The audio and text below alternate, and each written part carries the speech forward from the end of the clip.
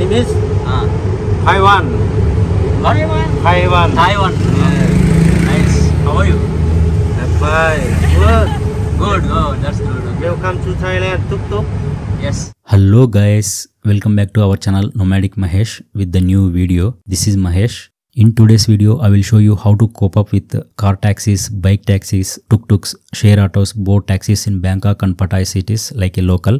I will also tell you when and how to use these taxis and whether there are any apps like Uber and Ola here. First, let's see what options we have in Bangkok city.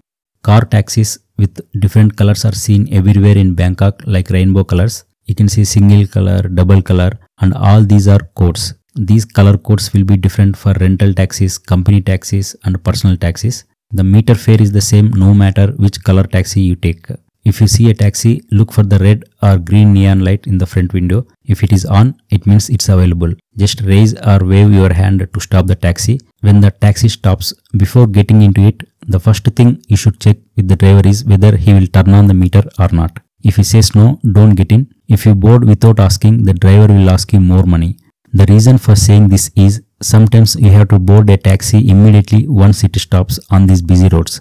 So if you don't agree to turn on the meter, just take the next one. There are plenty of taxis available in Bangkok. Here the starting meter fare is 35 Thai baht per kilometer and then meter changes at the rate of 2 Thai baht. From 1 to 10 kilometers the meter rate will be same. After that the meter rate will be more. This means the more distance you travel, the higher the meter rate will be per kilometer. Waiting time and toll charges are added to this. So keep all this in mind when you decide to take a taxi. Some taxi drivers don't turn on the meter, they say fixed prices. They mostly stand in front of hotels and near tourist attractions. So if you walk to the nearest road, meter taxis will be found for sure. If they don't understand the destination address or if there is a traffic on the route you need to go or if they don't understand your language, they reject the ride and also they don't understand if you tell them the name of your hotel. If you tell the area name and sign number of the hotel, they will take you easily. Take a photo of the yellow board with the driver details, whether you are taking a nighttime journey or females traveling alone in any taxi. So this is the story of car taxis.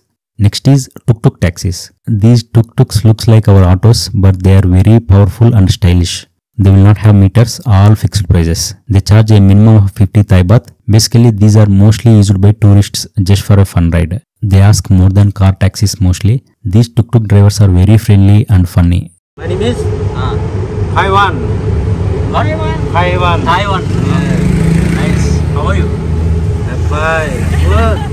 Good. Oh, that's good. Okay. Welcome to Thailand. Tuk tuk. Yes. Amazing. Yeah, yeah, yeah. You are super fast. Where you come from, sir? I come from um, India, Bangalore. Bangalore. Holiday.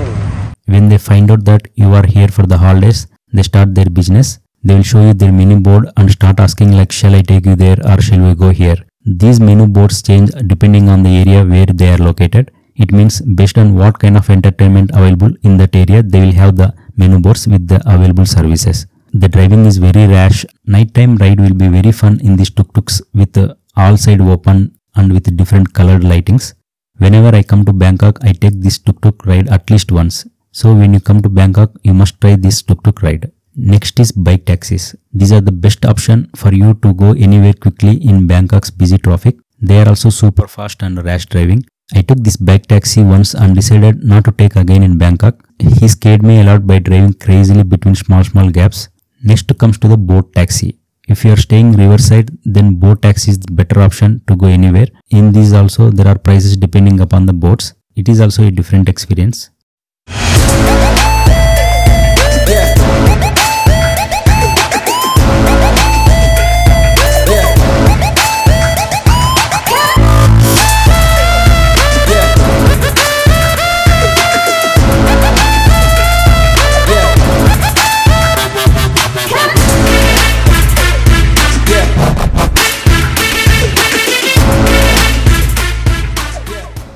Bangkok's last option is share auto.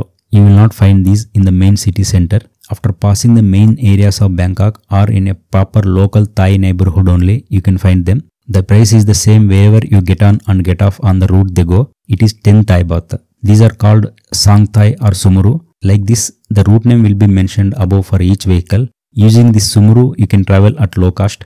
In Bangkok, you can book bike taxi or car taxi through mobile apps like Uber. They come to your location and pick you up. As far as I know, Grab and Bolt apps are famous in Bangkok. The main difference between these apps is if you book on Grab, you will get the ride faster but the cost is more. In Bolt, you can get it for less price but you have to wait. So you can use any app as per your convenience. It is better to book taxi from the airport to the hotel using these apps because you will know how much it will cost before taking the ride. Booking airport taxis will be more expensive and using these apps is very easy. These are the transportation options that we get to move around locally in Bangkok. Coming to Pattaya city, Sangthai or baht buses are mostly used by tourists and locals. Some people call these as Pattaya Tuk Tuk. We have these baht buses in many routes like Central Pattaya, Soi Buakhao. This is also like a share auto. It is 10 Thai baht for boarding and alighting in their route. There are hundreds of baht buses are available in Pattaya city. Just raise the hand and get into it once it stops. You can press this bell wherever you wanted to get off.